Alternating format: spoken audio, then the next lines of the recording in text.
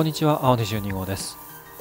レベルのフォード GT ルマン2017の制作の続きです。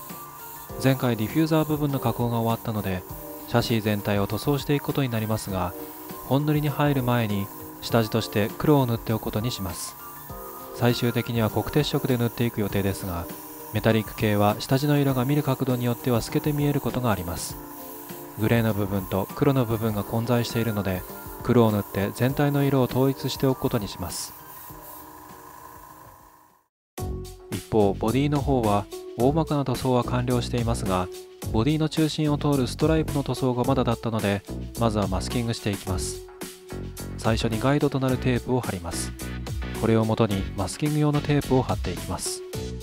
これはストライプの太さを前から後ろまで同じ太さを維持するためです。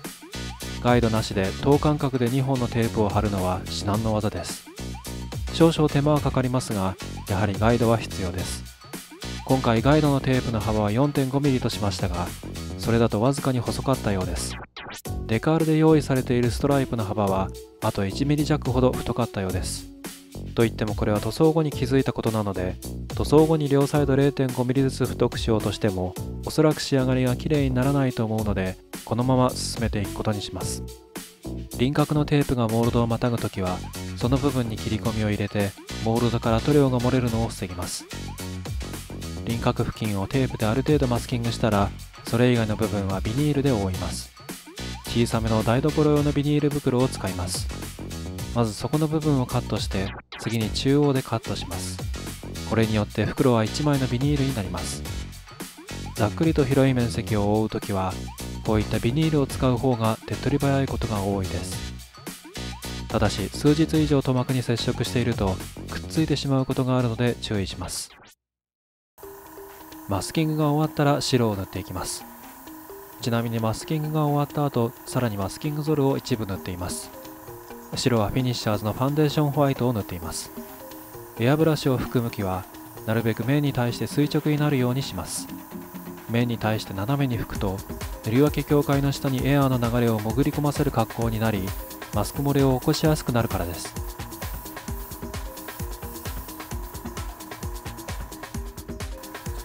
先ほど黒に塗ったシャシーは1時間ほど乾かしたら本塗りの黒鉄色を塗っていきます。メタリック系の色である黒鉄色を塗るときはソリッド系の黒を塗るときよりも若干エアブラシを離し気味にして早く動かして塗ります。近づけて塗ると塗った鉱石が残ってしまって結果として塗りムラとなるからです。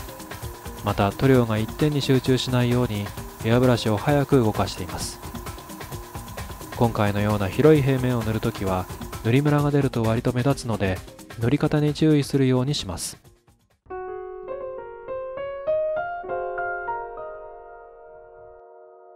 先ほど塗った白が乾いたらマスクを剥がしていきます。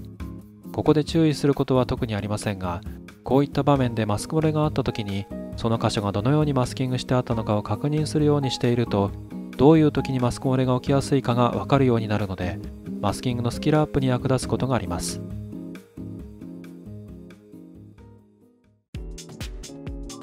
マスクの隙間から軽く塗料が吹き込んでしまったところがあるのでエナメル溶剤を含ませた綿棒で拭き取っておきます。エナメル溶剤にラッカー系の塗膜を溶かす力はありませんが塗膜の定着力を弱くする力ぐらいならあります。その力を利用して薄く塗料がついてしまったところを落としていきます。この方法で常に落とせるわけではありませんが一番お手軽なのでまず最初にこの方法で落とせないかを考えます。次に塗り分け境界をラブロスで軽く鳴らします。塗り分け境界のところの塗膜は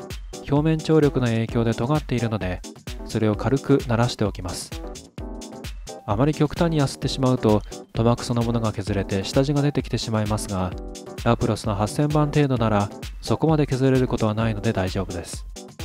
この作業は一見あまり意味がないように思えるかもしれませんが意外と完成後のスケール感の演出に影響するので侮れない作業だったりします。ボディのビブを再度マスキングしていきます。ここは白を塗る時のマスキングでは完全にマスキングするのが難しいところだったためあえてマスキングは深追いせず再び赤で塗ることを前提で進めていた部分です。マスキングをしやすいところとしにくいところはどうしてもあるものなのでそういった時は無理に難しい方からマスキングせず簡単な方でいっそ塗り直すという方法も結局は近道な時があります。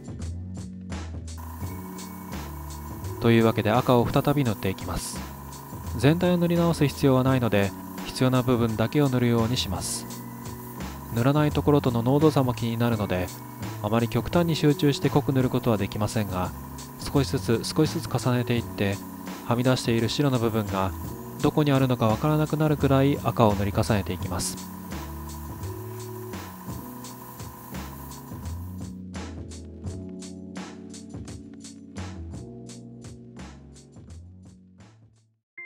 ご覧いただきありがとうございました。また次回お会いしましょう。青22号でした。